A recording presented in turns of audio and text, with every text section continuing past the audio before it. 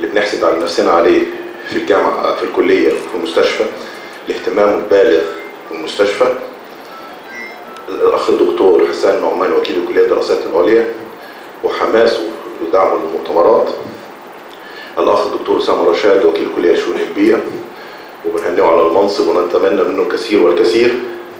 الأخ الدكتور هاني مصطفى جميع وكيل الوزارة ننتظر منك الكثير والكثير.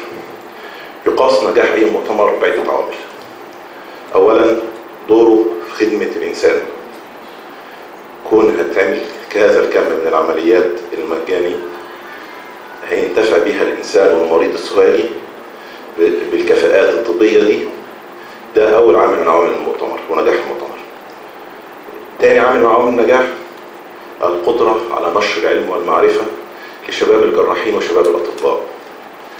الورش اللي هتتعمل وال video conference اللي هيتعمل والمهارات الأساسية في ال surgery وفي ال oral surgery سواء الأسنان وعلى مش مدى يوم واحد على مدى ثلاث أيام و hands-on training والحرص على تأسيس هذا الأساسيات في كل طبيب ده تاني عامل من نواحي المؤتمر.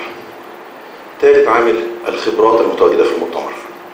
لما تشوف أساتذة من اسكندرية والقصر العيني ورواد المهنة زي الدكتور صلاح وزي الدكتور أحمد مطر معروفين بكفاءتهم واللي إحنا بنسمع عنهم سمع ونشوفهم وسطنا هنا في سوهاج ده ثالث عامل من نواحي من عوامل نجاح المؤتمر رابع عامل من عوامل نجاح المؤتمر الاستمرارية إحنا ده المؤتمر الخامس. العام الماضي كان فيه خبراء أجانب وقاموا بجراحات والعام اللي قبل كان فيه خبراء أجانب وقاموا بجراحات.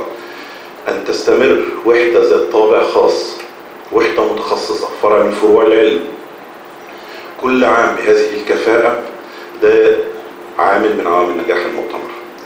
بنستنى كتير مش عايزين ناخد وقت في الكلام لأن الأطباء مشتاقين للجرعة العلمية ومشتاقين للمناقشات العلمية.